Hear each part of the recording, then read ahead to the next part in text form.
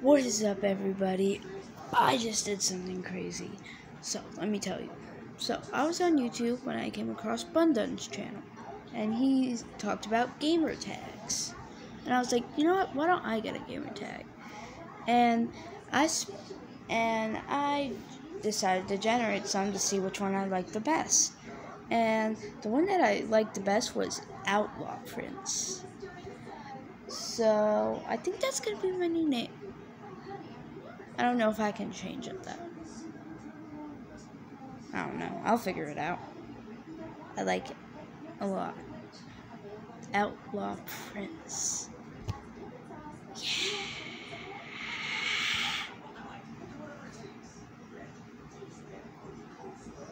So yeah. Outlaw Prince.